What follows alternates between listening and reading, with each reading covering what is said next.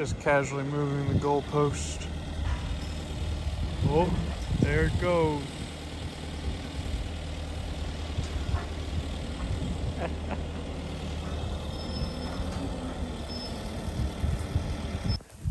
Come on, Barry.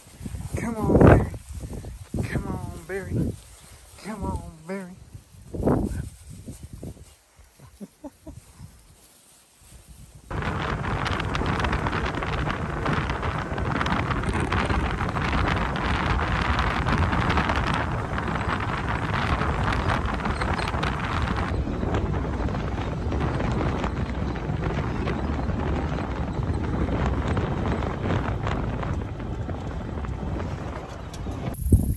Bunch of happy cows.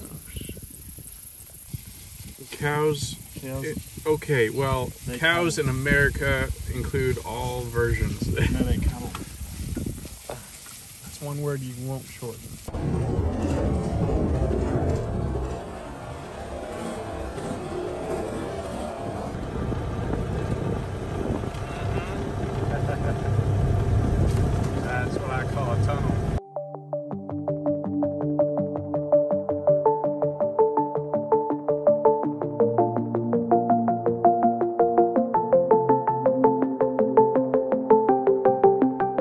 In Australia, they call these yabbies a crawfish found inside a trough. They get everywhere. Don't you, buddy?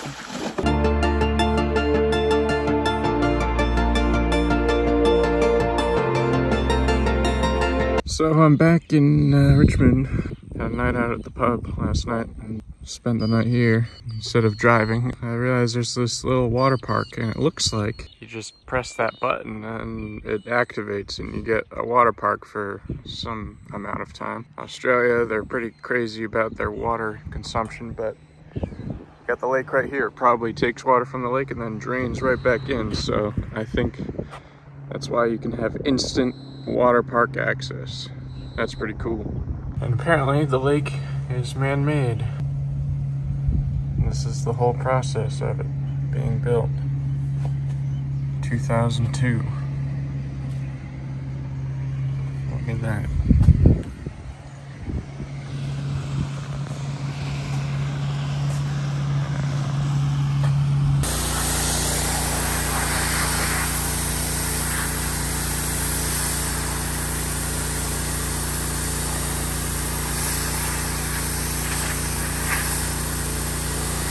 I found the local junkyard here.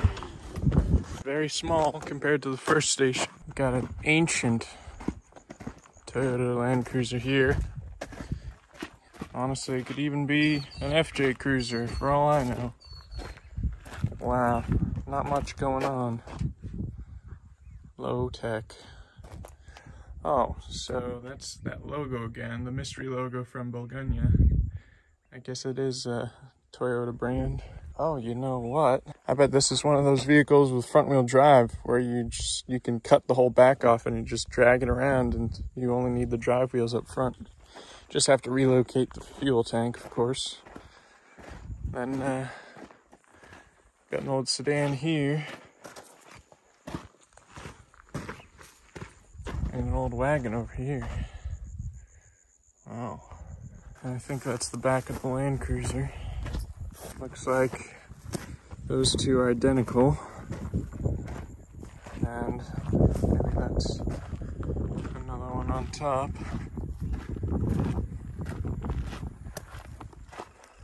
Nah, different type of car.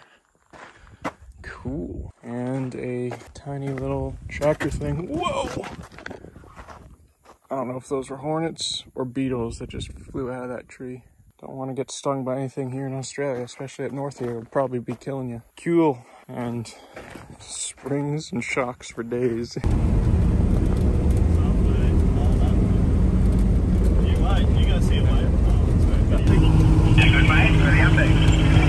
Oh, I've got the cement cement mixer at the back of the hut. There.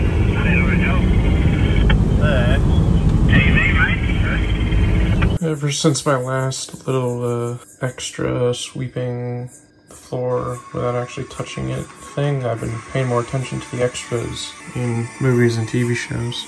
So I got some comments to make on this. This is the first episode of the Book of Boba Fett. Got one of those people on stilts in the background. And here we've got the robot dogs from Boston Dynamics.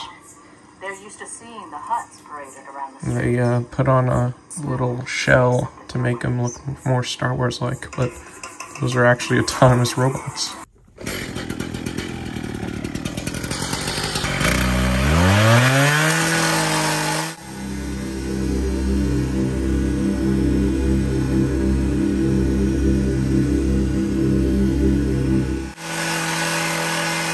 Electric chainsaw.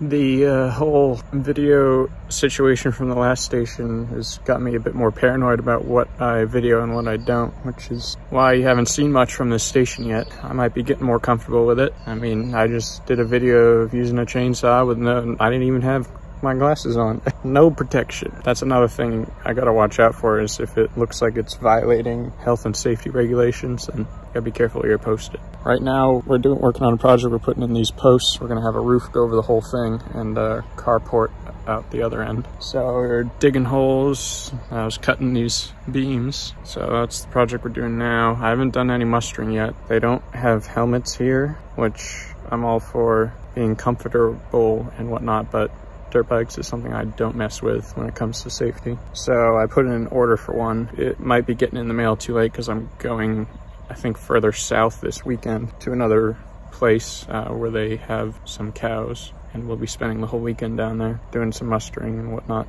So I'll have to figure something out. It'll be here for me when I get back if it doesn't come earlier than that. So next up uh, for this project is filling in these holes with concrete. What I've been mostly doing is spraying weeds, which is miserable. It is very hot up here. I mean, it's not the hottest I've experienced, but still very hot in the mid 90s every day. And bushwhacking these prickly bushes covered in spiders. Fortunately, they're all versions of the orb weaver, so they're not harmful to humans. I'm just getting diesel because that's the base of the uh, spray. Because it's oily it sticks to the plants longer it doesn't wash off easily. So just like diesel gets everywhere. The terrain is quite rough out here. They had a storm go through back in 2019 washed out probably the height of my hand that much topsoil and so where the grass patches are, they're just like bulges in the ground, practically boulders, just a little bit softer. And so I'm on the four-wheeler, I'm going all over the place. I'll get a video of that eventually, strap a GoPro to that. I'll be building some cattle yards at one of their other properties. I went over there the other day, pulled a bunch of panels off the truck. That would have been fun to get video of. We were doing some pretty sketchy stuff to get those panels off the truck because the way they packed them, they used a massive machine to put them on the truck and they had a little backhoe